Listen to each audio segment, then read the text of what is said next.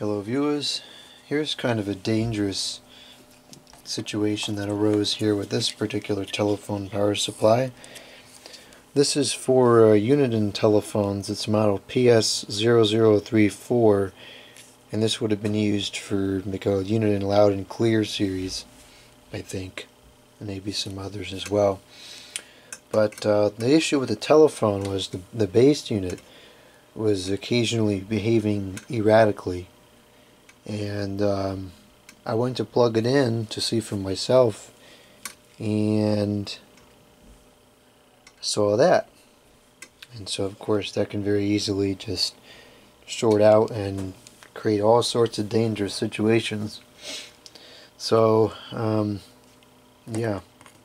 Uh, this is kind of an odd failure because this is a wire that doesn't move. It goes to a, a base that just sits on a table I see this kind of thing happen with cords like a laptop charger or um, like a cell phone charger, wires that move a lot and can sometimes have, have excessive force on them. But not for items that don't move. So I'm not really quite sure exactly how this came about.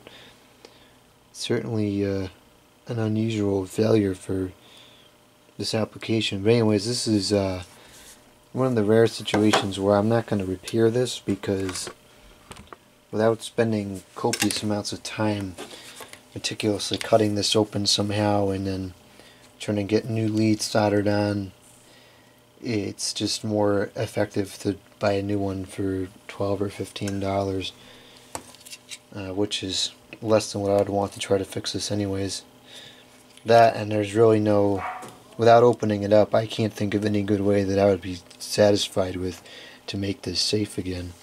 So, um, I'll hold on to this, and maybe someday if I have extra time floating around, I'll see if there is some way to uh, open it up and possibly repair it.